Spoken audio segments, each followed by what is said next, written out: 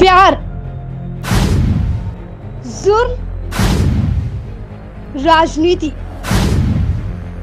धर्म समाज से जुड़ी हर खबर पर पैनी नज़र। स्वागत है आपका नेशनल न्यूज़ की उत्तर प्रदेश की खास खबरों में। मैं हूँ आपके साथ फरजाना। आइए नज़र डालते हैं उत्तर प्रदेश की खास खबरों पर। बीएसपी सुप्रीमो मायावती राज्यपाल से मिलने पहुँची राजभवन। महिला समस्याओं पर सौंपेंगी ज्ञापन। उन्नाव केस पीड़िता के परिजनों से मिली प्रियंका गांधी, कहा एक साल से परिवार को धमकाया जा रहा था। राज्यपाल आनंदीबेन ने कहा, संस्कारों की कमी से ही बढ़ रहे हैं अपराध। मोबाइल और सोशल मीडिया भी बड़ा दोष और नावकांड अखिलेश बोले, सीएम डीजी के हटे बिना कानून व्यवस्था स्थापित नहीं हो सकती।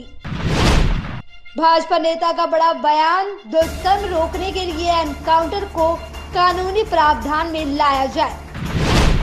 अग्निशमन यंत्र लेकर बेटी के साथ स्कूल पहुँचे पूर्व पार्षद, बच्ची कह रही, हमें न जलाना।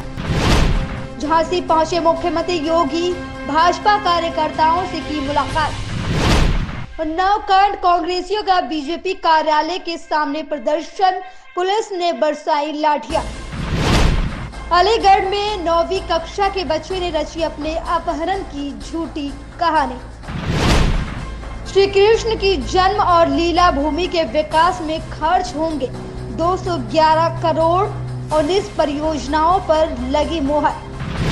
उत्तर प्रदेश की खास खबरों में आज के लिए बस इतना ही। देखते रहिए नेशनल इंडिया न्यूज़। प्यार। जुर्म।